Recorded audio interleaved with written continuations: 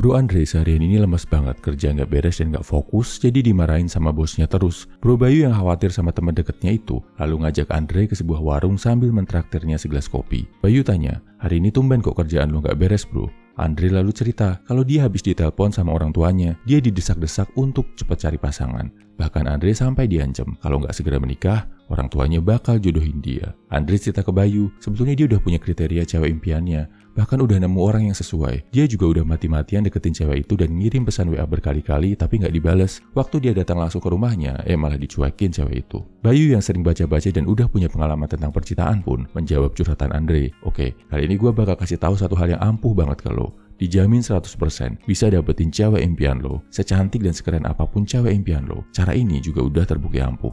Lo tahu nggak caranya gimana? Jawabannya adalah jangan fokus sama cewek. Sekali lagi, jangan fokus sama cewek. Wajah Andre sampai heran sama jawaban Bayu. Aneh kan? Masa buat dapetin cewek, caranya justru dengan nggak fokus sama cewek? Ini penjelasannya bro. Kalau lo ngerahin tenaga lo buat mikirin, galau, ngebucin, dan jadi badut buat cewek, akan ada banyak hal yang terbuang sia-sia. Mulai dari PDKT, nyenengin si cewek, dengerin curhatannya, kasih hadiah, keluar duit buat ngajakin jalan, dan lain-lain. Itu juga belum tentu si cewek bakal suka sama lo. Apalagi kalau cakepan dikit aja, pasti banyak pria-pria lain yang ngelakuin hal yang sama ke si cewek. Lo pada akhirnya cuma jadi satu dari sekian banyak pria lain di kehidupan dia. Nggak spesial, Andre tanya, terus gue harus ngerahin tenaga ke mana bro, biar kelihatan spesial di mata cewek? Bayu jawab, ke diri lo sendiri, fokus ke tiga hal yang bikin lo jadi cowok berkelas, cowok yang gak bisa ditolak. Tiga hal tersebut adalah lo punya fisik yang bagus, lo punya keuangan yang sukses, dan lo punya karya atau status bagus di mata orang. Tiga hal ini sangat disukai sama cewek mana pun. Kalau udah punya tiga hal ini, cewek-cewek impian bakal nunjukin tanda ketertarikan, bahkan ada yang mungkin sampai ngejar-ngejar lo.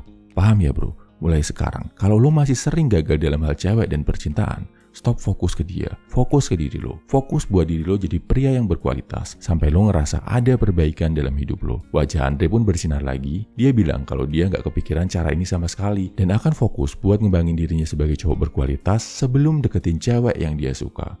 Salam high value man, semangat bro.